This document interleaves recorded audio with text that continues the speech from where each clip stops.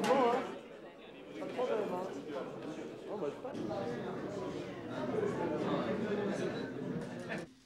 Par euh, le cinéma, des pouvoirs qui nous sont conférés, nous vous faisons chevalier de l'ordre des arts et lettres. Je vous embrasse. Quelqu'un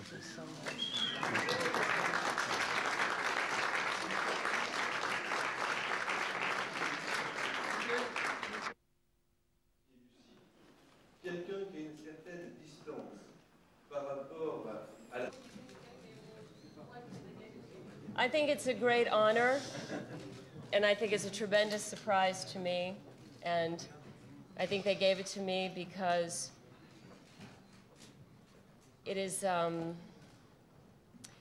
I have to think about this in the way that I've had to think about all of the dramatic changes in my life, because I think if you sit and you wonder how these fantastic things can happen to you, how my life so simple and my career considerations so simply an artistic pursuit, that why all of these things have happened to me, I've had to surrender to some kind of existentialist belief that this is my destiny and that this will lead me to a purpose where I can be of greater service.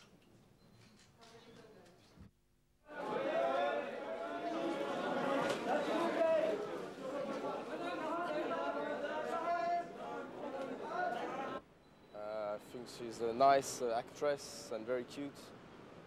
And what else? I don't know. She's very sexy. That's it. Je pense que c'est une très jolie blonde. J'aime pas les blondes ordinaires, mais là, je trouve qu'effectivement, c'est une, une très belle femme.